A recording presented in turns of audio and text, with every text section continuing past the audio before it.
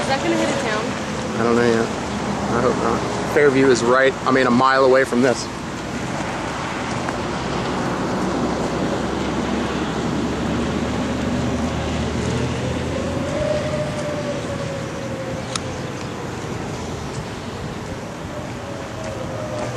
Hey.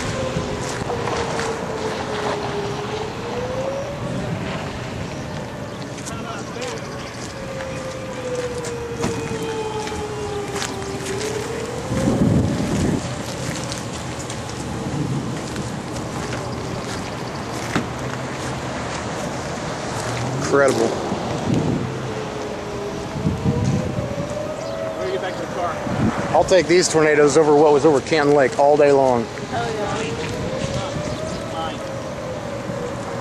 That is awesome. There's the denominator. Look at that rope now. Look at that. It's spiraling in the air. Okay. Oh, let's go! What, what is that doing? Look at that. Fading out or what?